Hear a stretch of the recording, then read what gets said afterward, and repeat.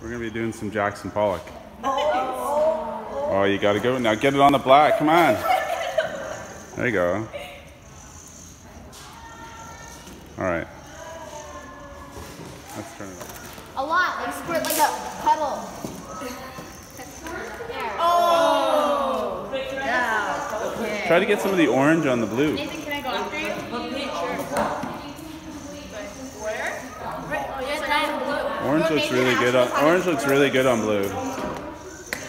What? Orange looks really good on blue. It's not very hard. Okay, maybe we should switch up the paper. Okay. Let's try some. Switch the paper. The blue one is on. Okay, let's get different ones here. I'm surprised it's Oh, wait, wait, wait, you wait till the lights face the light. Okay, keep turning it, turning it. Wait, no. There. Yes. No, turn over this way. Yeah, wait, no. This way. Here's the tail. Think it's- Do you think